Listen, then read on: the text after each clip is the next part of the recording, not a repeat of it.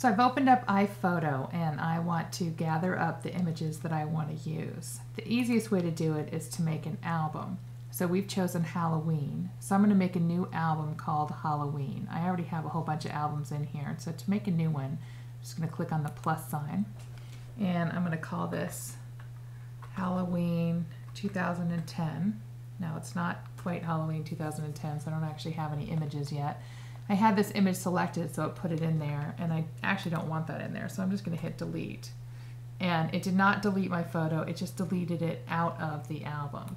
And I'm going to do a search on Halloween and see what comes up from years past. And apparently I have no keywords for Halloween.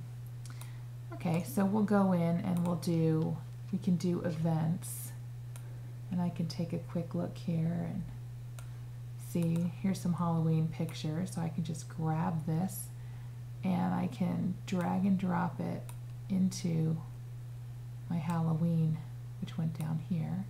Just place those in there. Now it says that there's seven photos in there. Keep going. Oh, there's some Halloween ones here. So Halloween 29. So that's good. That's a good amount of photos. And if I click on my album, now I can see all the photos that I have in here.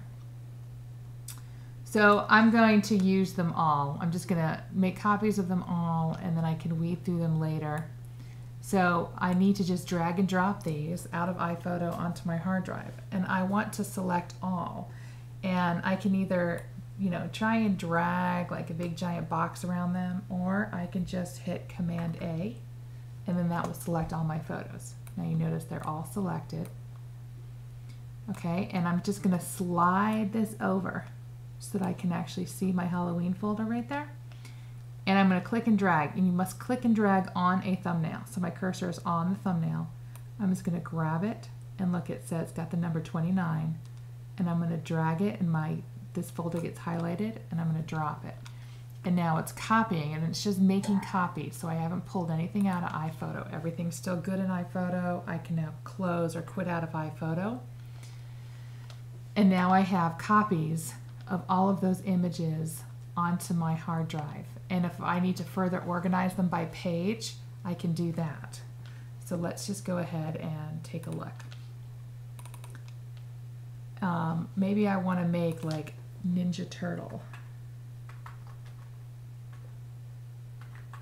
So I'll make a folder and then I'm going to grab all of my Ninja Turtle pictures and I'm going to drag and drop those down into my Ninja Turtle folder. Okay? And then I could go ahead and make like Darth Vader. There's a Darth Vader costume in here. So I'm going to take Darth Vader and I'm going to do the same thing. And we'll get Darth Vader all copied over. You have to actually click and drag on the thumbnail. Okay, and now I'm ready to go.